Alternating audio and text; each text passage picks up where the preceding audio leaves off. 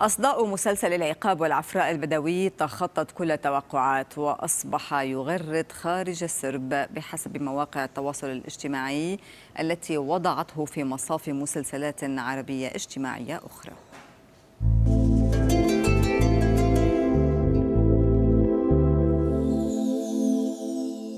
مر العيون اللي ما زيها زي.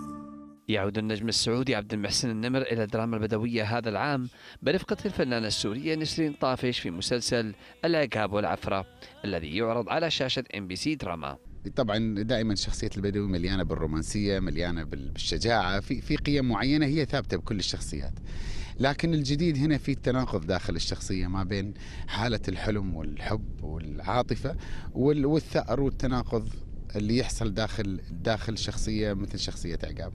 أعتقد إنها مختلفة إن شاء الله وتكون بتقدم بقالب جديد ومختلف. شخصيه مريحل مريحل هذا إنسان طيب تقريبا هو الوالد الروحي لعقاب. عقاب بتوفى والده ويكون طفل صغير.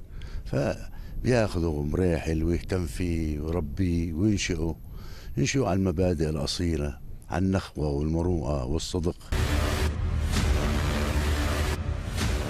المسلسل يحكي قصة غريمين يتقاتلان إلى أن يرمي الحب بسهامه فيقعان في حب بعضهما البعض وتتحول علاقة الكره إلى حب وشغف معظم الناس بتحبه وبتتابعه لأنه في أشياء بتختص بالأصالة آه، بالمشاعر في قصص حب في قرب الناس من بعضها فعشان هيك بيكون قريب من الناس. مختلف عن المسلسلات السابقة بأنه هو آه، يعني آه، مزج ما بين البدوي والغجر. يعني في بدوي غجري بنقدر نسميه يعني العقاب والعفرة.